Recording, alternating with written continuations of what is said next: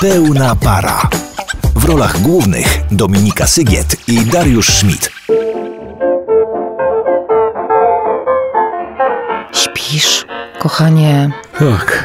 Wiesz, tak sobie ostatnio myślałam o tym, o czym mówiłeś, że, że no, żeby nie dotrzeć do takiego etapu związku, gdzie jedno na drugim wisi, a szczęście każdego z osobna uzależnione jest od tej drugiej osoby. Wiesz, taka totalna zależność.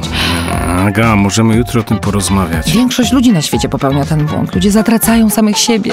Aga, jest po północy. Możemy już spać. Wchodzą w relacje z tą bliską osobą, zapominając jakby, że chodzi tu o dwie różne osoby, indywidualne jednostki. Aga, na litość boską, śpi! Ale nie mogę. Czego nie możesz? No nie mogę zasnąć. Bo zło nigdy nie śpi.